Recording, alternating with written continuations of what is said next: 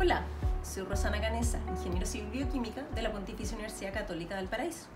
Actualmente me desempeño como subgerente comercial de Biopackaging CMPC. De su directo de ingeniería, ya que desde niña me caractericé por tener un pensamiento creativo, trabajar bien en equipo, buscar la manera de diseñar nuevas formas para hacer las cosas. A eso se sumó que en biología, mi asignatura favorita, en el colegio, nuestra profesora nos explicó sobre las macromoléculas y tomó ejemplos industriales de enzimas aplicadas a procesos en la industria alimentaria, en los detergentes, y nos contó que existía una carrera que se dedica a dicho estudio de los procesos biotecnológicos enfocado en su escalamiento industrial. Esa clase me marcó a tal punto que fue esa misma profesora la que me ayudó a conseguir una visita para ir a la universidad, cuando aún estaba en el penúltimo año de colegio. Pude ir a las salas, a los laboratorios, hablar con alumnos, con profesores, incluso con doctorado, y conocer más en detalle de esta ingeniería. Lo que más me llamó la atención de esa experiencia fue la poca cantidad de mujeres que habían en la Facultad de Ingeniería. Ese fue el momento preciso en el que tomé la decisión de estudiar ahí, motivada por el convencimiento de que las ingenierías necesitaban una mirada distinta que haga un contrapunto de la visión masculina tradicional, cosa que solo nosotras podemos aportar.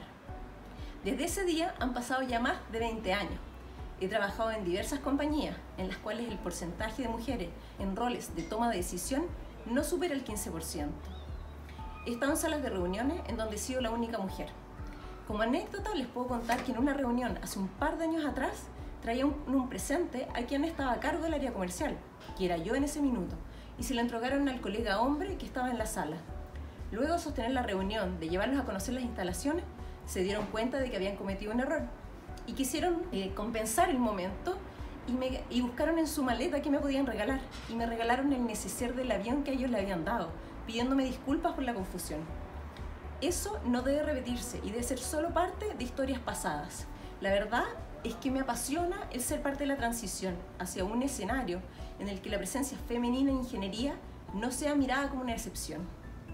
Hoy en día estamos en una era en la que el liderazgo debe ser transversal, empático, colaborativo y nosotros tenemos grandes fortalezas en ello. Estamos claros, ha sido un proceso lento, pero que afortunadamente ya no tiene vuelta atrás. Y hoy, cada vez hay más referentes de cómo nos vamos acercando al equilibrio entre mujeres y hombres en todos los planos.